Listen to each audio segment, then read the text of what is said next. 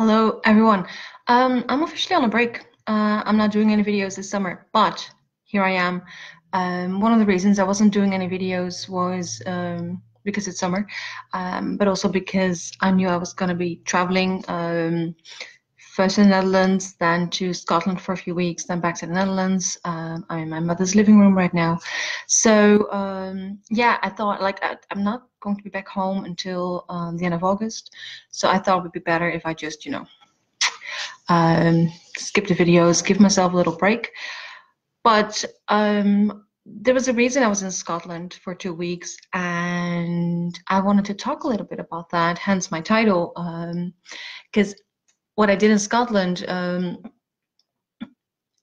I went to the uh, 20, like, I don't know, I don't know if any of my audience knows uh, 20 books to 50k big online uh, group uh, facebook group for uh, indie publish uh, indie writers um, where you can find anything about marketing tips um, how to publish your book um, it's a whole it's it's it's it's it's a very big group uh, and they do these yearly conferences in Vegas and they just had one in Bali. They had one in London last year and they decided to do one in Edinburgh um, this year. And they say it's going to be the last uh, European one so I was, I'm really glad I went there. Uh, it was my first 20 books 50k uh, conference.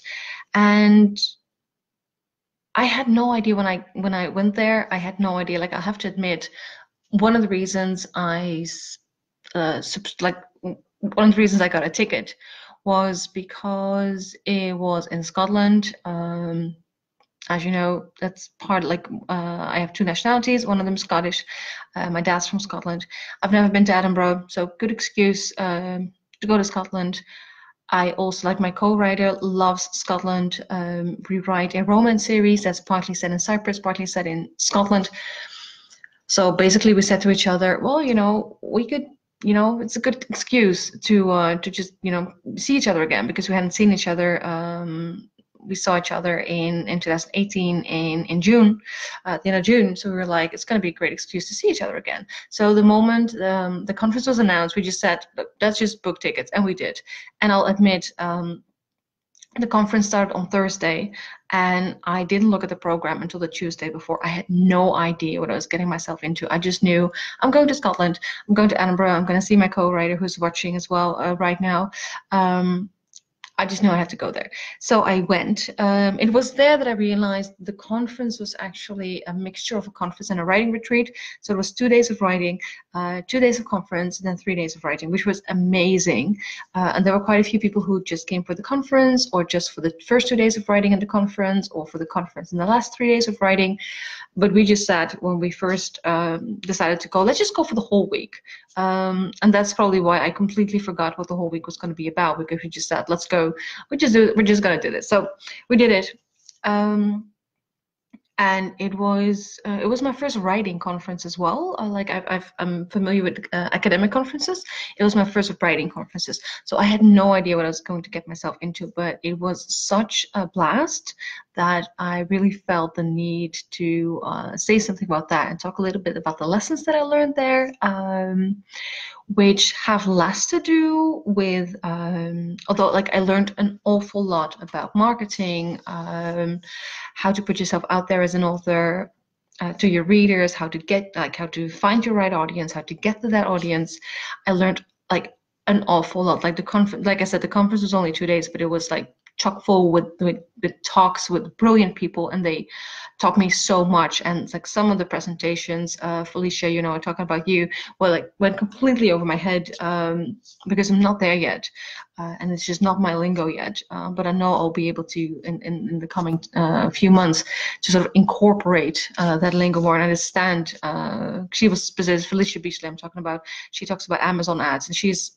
like intensely intelligent um, and I was just sitting there like I know nothing, um, but yeah, I know that, and she's I, I believe she's working on a course right now, so I know I'll be uh, I know I'll be getting uh, into that, and I'll, I'll know I'll learn more about that because it was extremely interesting. It was just mind blowing, like the the the levels, the way you can level up your marketing. Um, uh, by by really like diving deep into Amazon. It was just amazing uh, to see, uh, and like I said, was mind blowing. So the conference itself, like I learned a lot there, but I also learned a lot about myself as an author, um, as a person, uh, and how I connect to other people.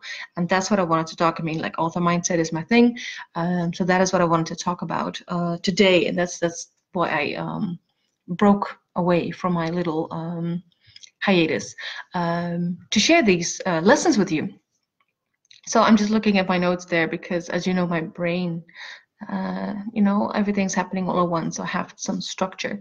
Um, oh yeah so basically what we did was we went to uh, edinburgh for a week me and my co-writer sheena mary we went to uh, edinburgh for a week and then we added a few days in the highlands um, to work on our romance uh, series because we were gonna like at the conference we were gonna work on our own stuff um, and we do like a wide variety of, of things um, and then we were gonna work on the romance um, like plot the next series um, while we we're at the writing retreat so that was the plan, like two weeks of uh, being in Scotland and just writing, writing, writing, writing. I had no work planned. I had like in the in the second week, a little work into that I had to do, um, but yeah, mostly we were there to just write, write, write, write, write, uh, and we did.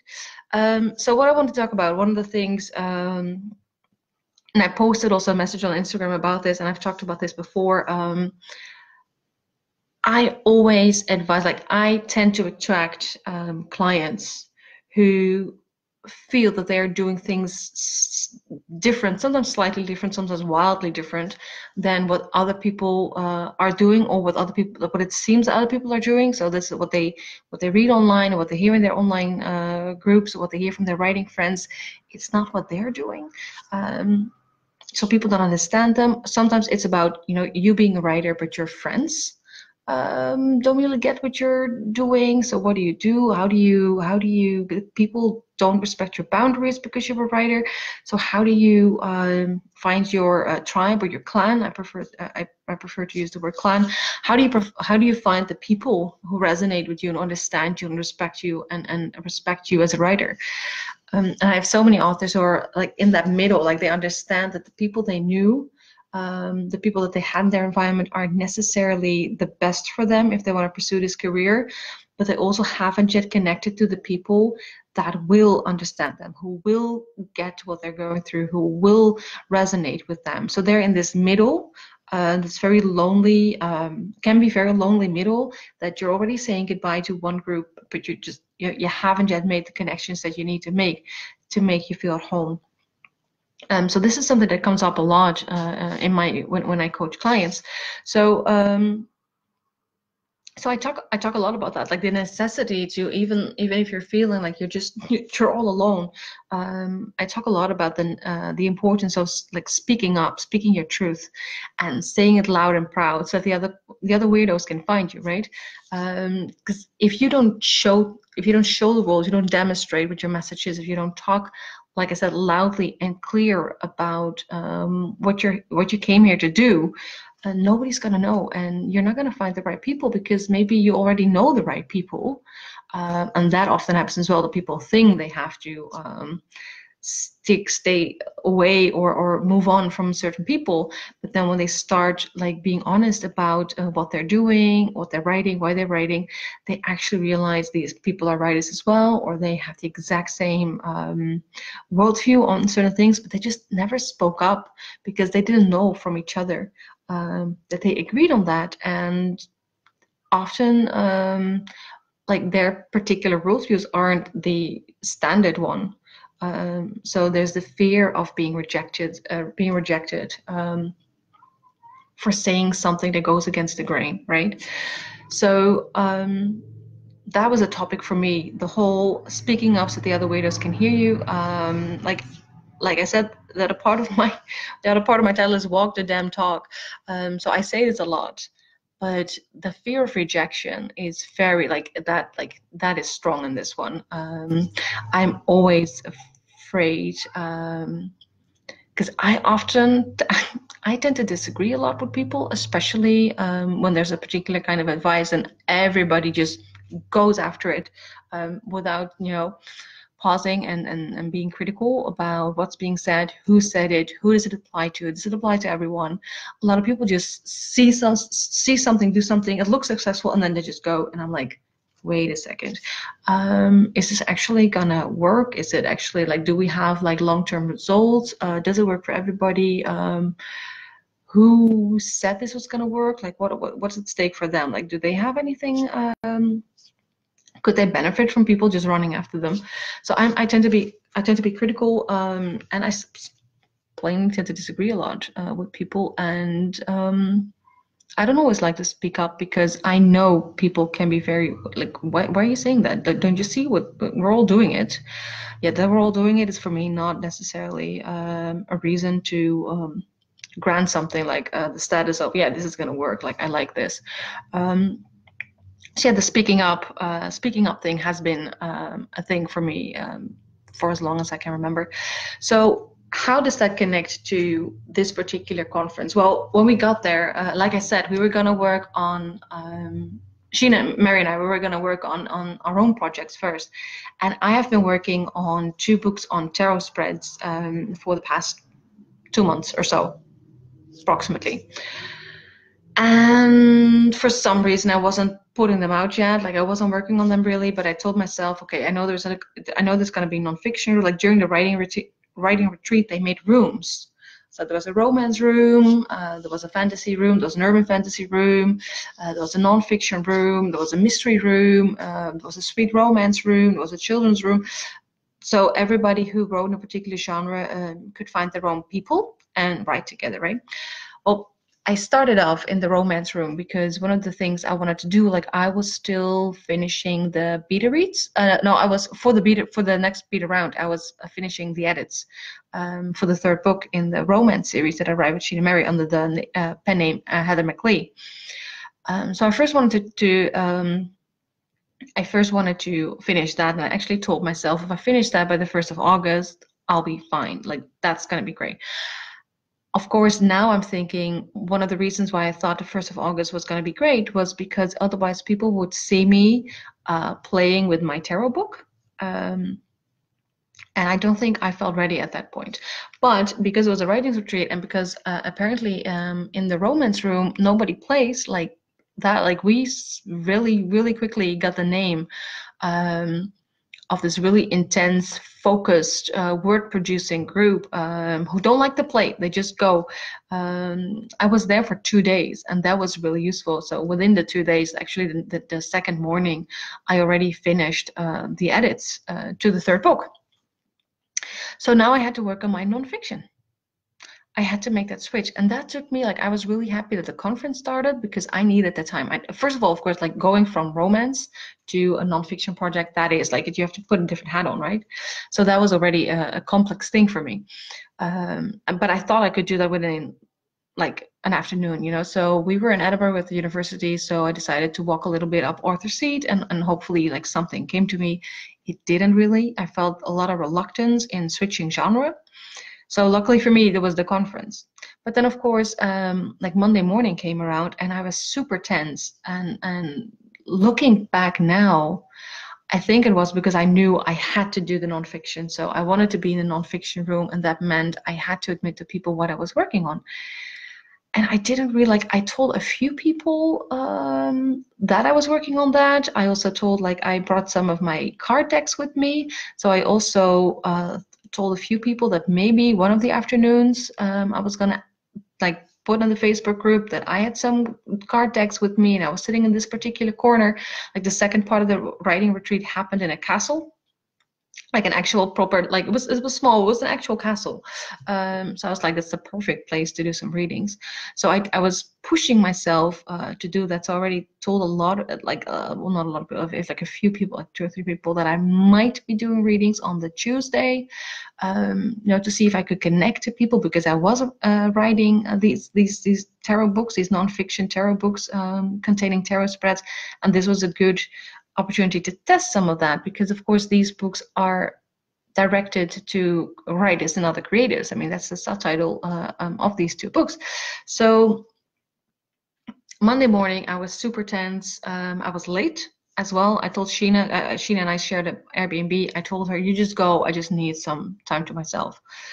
And I don't know how it happened, but suddenly I was thinking, you know what? I'm just gonna bring all my decks um, to the to the university. We were just um we were staying at Airbnb just outside of the university uh, campus. Uh, I was like, I'm just gonna bring all my decks, and if I walk into that building, that little castle, like I hadn't been in there yet, if I walk into that little castle and I find the perfect corner to sit down with my laptop, with my card decks, I'm just gonna do it. Like screw Tuesday afternoon. Why Tuesday afternoon? I'm just gonna do it now, right? I'm just gonna I'm just gonna uh, uh, take that leap. And it was a leap because the fear of rejection was like extremely strong within me because I thought like I had made such great connections over the first few days. Um, like really connected to a lot of people um, on, on different levels, different topics.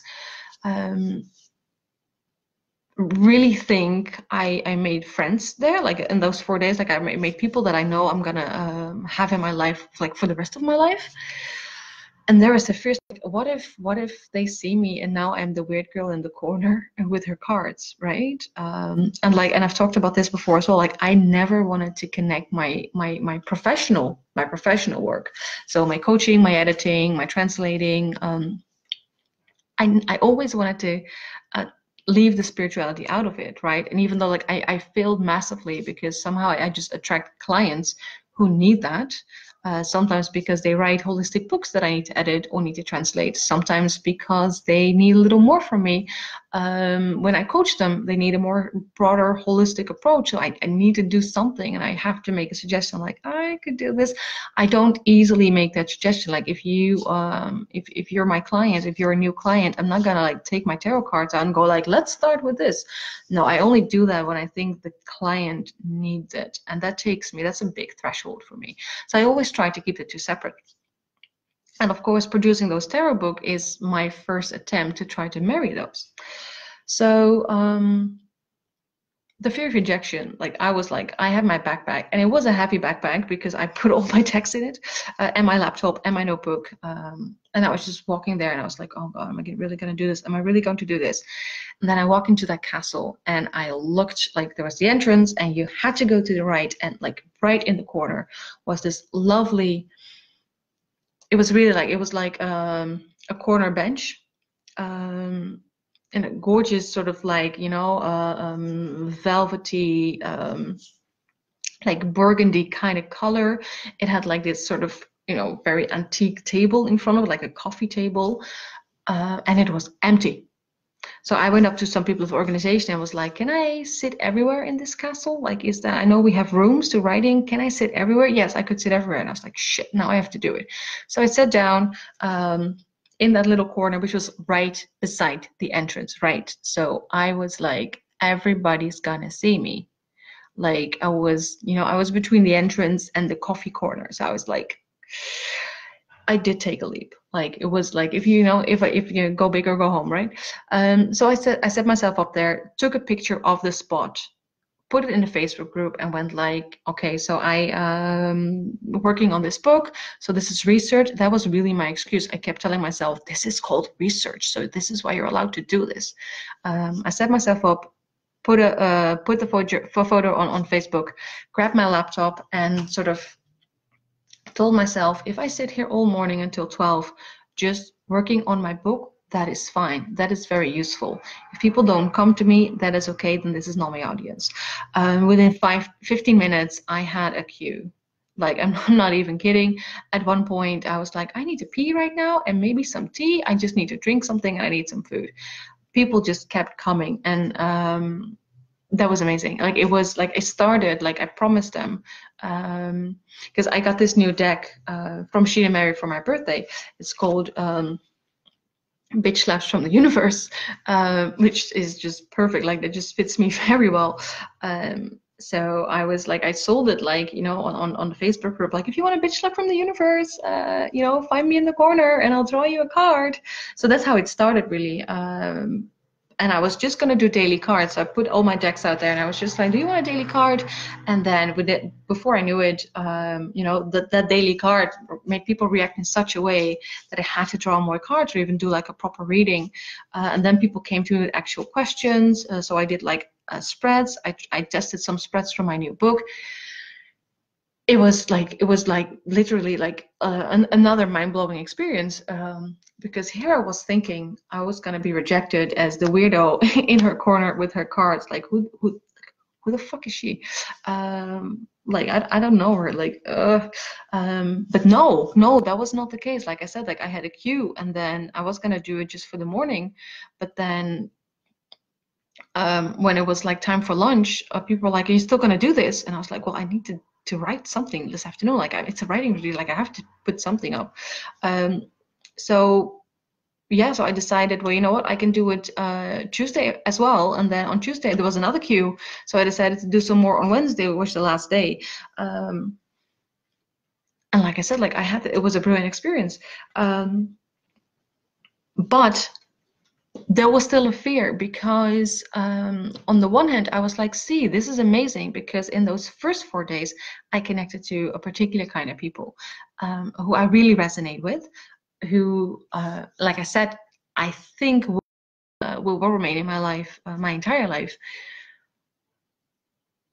But these were not except for a few people most of them were not the ones who came to me for readings. So the next fear came in I thought by showing my true colors, you know, that I would lose the people that I just connected with. And that didn't happen. We didn't talk about card readings either. Like when we met again um, at the coffee corner, during lunch, at the bar, later, uh, later at dinner, we just continued talking about the stuff we already talked before. So for them, I did not become, uh, I did not become like the card reading lady. I was still the same person, and that was something I did as well. Like, oh, you were the person doing the cards. Oh, cool.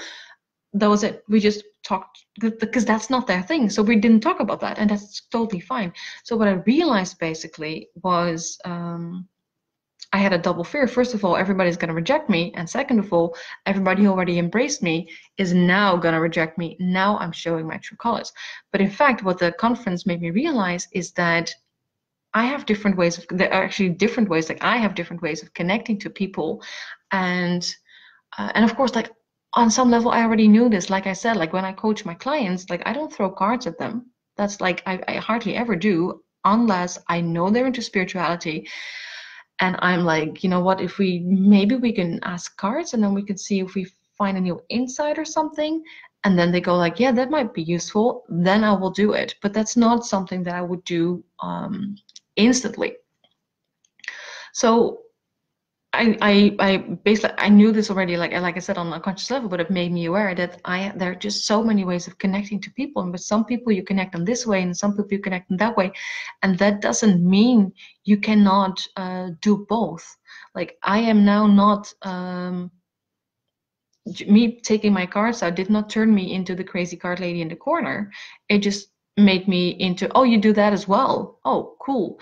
And if that didn't resonate to other people that did not become part of our conversation. With other people it's the only thing i talked about but we didn't connect to any other level which is fine as well. With some people i found out that we have this right? So we both we both marry the two concepts so we could we could talk about um, how the two are connected. And we did like from the uh, 20 books to 50k edinburgh conference conference we did uh, end up making a um, a facebook group for writers who use tarot in their writing um, so I am going to explore this much more with other people. So I did connect to people who already used it too. So there was a diff. So there was for me, um, and completely losing my thread here. For me, it really showed um, that the fear I had that you know, first of all, like my fear was always I cannot marry the two. Um, and then the fear was if I do marry the two, the one becomes the most important thing, and people will, I don't know, um, disregard my other knowledge. Um, people will stop seeing me for uh, the professional I am because I also do this. I mean, um, tarot is still the sort of you know it's it's it's, it's a little woo woo so um, i was afraid that people would sort of like first think of me like, oh, you're a professional, you know what you're talking about. Oh, but you also do that. So it completely sort of disavows my other uh, qualities and skills. And I realized, no, first of all, they can exist next to each other. I can be both uh, at the same. I can be both, but I I also can be both at the same time. Uh, and that for me was a really big lesson um, because for me that means that I can stay true to my creative self because working with the tarot that's just something that's been keep coming up for me like not just tarot cards cards in general and i, I am planning um, another challenge before NaNoWriMo um, in october uh, because that just i don't know it just i just they just that it's just really inspiring to me to to work with it and of course like in the end and that is sort of also the click uh, the click that I made, the, that sort of hit home to me. And of course, like I said before, I already knew this. I already knew this, but I wasn't conscious of the fact that I knew this. Is that um, you know at the end of the day, uh, tarot, oracle, runes, whatever you use, that is it's just a tool. It's a tool to connect to your intuition, and basically connecting to your intuition is something that writers need because the more writers are grounded and connected um, to their true self or whatever you call it like their core their creative core the better the work they're going to put out the, the more they know what they need to say how they have to say it um, how to reach the right people. So it's just a tool. So it makes all the sense that it's a great tool for writers as well. And of course, I know people who use tarot uh, to plot their books, and I, I, I know very little about that. And I'm really I just got a book by uh, Corrine Kenner, I think her name is, that got recommended to me. I am really curious to learn more about that. I use it for the author mindset. So I use it to talk about, to, to figure out, um, to shed a light basically on your limiting beliefs, your creative roadblocks, um, what do you need to create, what should you be creating, what should you prioritize, um, why do you struggle between two different or more diff- uh, uh or multiple projects. That's how I use cards. Like I really use it for the mindset. Um, but yes, there are writers who, who use it to to plot their books because, of course, um, the the tarot. Then, uh, when we talk specifically about the tarot, the tarot has a story structure within itself, uh, within it. Uh, I know very little about it, like I said, and I'm, I'm I'm I'm sort of catching up on that right now. But I've always used it for for more mindset issues. Um, so yeah, so that's uh to cut a long story very short, that's what I learned about walking the damn talk. Um, I don't. So okay. So how how would I sum this up? For me, like like the things I learned was uh, I can be uh, both at the same time. I can also be one when depending on the context. I can be the other depending on the context. There's nothing wrong with that. And also, um, people you know from this context don't necessarily uh, disregard you or reject you because you also do this right? They will understand. And of course i knew that. I, I like i knew everything uh, about this but it's the fear of reject, rejection that makes um, it very difficult uh, to see. And i mean at the end of the day like we all want to be embraced. We don't want to be rejected. Um, but i think for me like i got a really high reward for um, showing up speaking my truth um, and and finally walking uh, my own talk, something I've been saying for years to my clients, uh, but aren't always doing uh, the way I should. But I think walking into that castle and picking the corner right next to the entrance, that was the first 50 minutes were probably not the most, not not not the scariest of my life, but definitely definitely very scary. Like I was waiting for people to come up to me like, what the hell are you doing? Who are you? What are you doing here? This is a writing conference that did not happen at all. Um, and I, I, think the people who had nothing, who who that whole modality, that's it's basically just another modality to, to connect to yourself, right? Whether you use meditation, yoga, um, journaling, it's just another tool. Like I said, um, I think the people who just didn't have anything, didn't resonate, they just stay clear. And when they wanted to talk to me about the stuff we already connected over, they just waited for me to put my cards back um, in my in my backpack, and you know we just went on from there. Uh, so that is definitely what I learned. Um, that sometimes you just have to take a leap. It, you know, honestly, even if I hadn't had these results, I still should have taken the leap just to learn this lesson. Because uh, even if people hadn't been um, responding the way they they did, uh, I would have learned that. Okay, so then this is not my audience. Doesn't mean my audience isn't there. Um, but yeah, I did I did find my audience, um, and I think a lot of them will remain really good friends um, throughout my life. Let me check if I have anything else to say. No, that was it. Okay, so I can't promise any more videos um, until the end of summer. i am working on a lot of things right now. Like I said, there's another. Oh yeah, I was going to show you the cover um, of my book, um, of my new book. This is it. Um, it was the uh, so let's get out of your way a 31 day tarot challenge for writers and other creatives. Um, it was a number one new release on Amazon US uh, for a few days, which was really awesome. Uh, I got an orange banner. I mean, that, that, was totally unexpected, of course. Like that was like I was like, what does this even mean?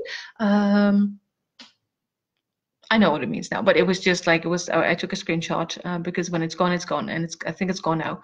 Uh, but that was really cool. Um, I'm working on the other uh, tarot book. I'm also, of course, it's almost September, so that means in about four to five weeks, my new writing program, my fall writing program starts. Uh, I'm really looking forward to starting that as well. I'm also uh, going to redo the heart-to-heart conversations um, because the last one didn't actually got uploaded on Facebook, and that was a loss because that was a really, really good interview. So I'm also reworking on that. What else have I done in the meantime? I have not actually had a holiday. Like I've worked a lot. Oh, I put for those. I know a lot of people are interested in the uh, in my 50 uh, week program, so my year long writing program.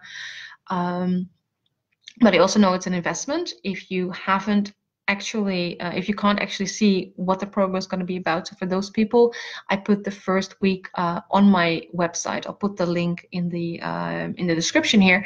I put the uh, I, I, put an example uh, to show you what what are the kind of questions you can expect what are the kind of writing prompts you can expect what are the kind of writing quotes uh, you can expect you know to keep you inspired just so people have more of an idea of um, of what the program is about before they commit to it. Um, anything else I'm working on a on a book um, with John Robin, another writing coach. Um, it's very early stages, but the plan is to I don't know. We don't have a publishing plan. He, I think he has a publishing plan. I don't. Uh, I don't have a timeline for that. But we're gonna write a book about imposter syndrome um, and how to kick that to the curb. So that's gonna be really awesome. Um, as you know from this talk, it's something I still deal with. I think we'll all, always be uh, dealing with it. So yeah, um, definitely something uh, I'm really looking forward to diving into and, and, writing a book on, on on how to uh, keep sane when that happens. No writing program I discussed. No, I think that's it. I'm also like in, in about a week I'll be uh, doing my new newsletter. If you haven't signed up for my newsletter, please do. I'll uh, add a link to that as well as you know, uh, or some of you might know, don't know if everybody knows, if you sign up to my newsletter, you get the um, free worksheets to get rid of limiting beliefs around creativity uh, in your inbox as well. I think that's it for now. I hope you're having a good summer. If there's something you want to talk about, um, comment um, and, and I'll respond. Okay. Thank you so much for listening um, and see you all soon.